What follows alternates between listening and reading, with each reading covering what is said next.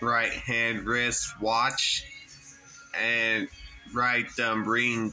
From Wrong Turn for Bloody Beginnings 2011